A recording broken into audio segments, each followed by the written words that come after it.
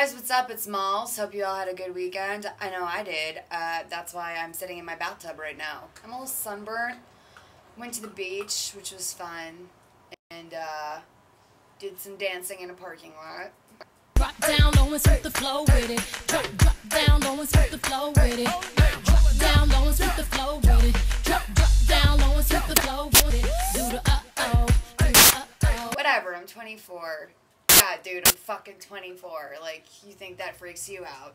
Huh. I'm not gonna die or whatever. Don't, I don't think that, like, I'm old or something, but seems like just yesterday I was, uh, you know, putting in my first tampon. Ooh, that was weird. Sorry, gross. Why don't we just forget about that? Why don't we just forget about it? Uh, and here are your Monday to-dos. Warpaint is going to be at Spaceland. The Science Behind IMAX is at the California Science Center. Children Should Be Seen is at the Los Angeles Central Library. And Steel Panther is going to be at the Key Club. Sweet band name, guys. Good job there. Just wanted to tell ya. From Molls to Steel Panther. Love it. Big time fan. Send me a t-shirt. Cool. Son!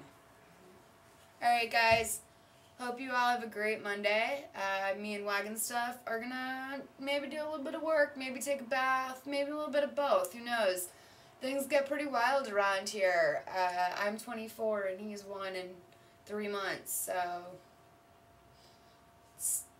rage. We rage a lot. All right, have a nice night. Bye.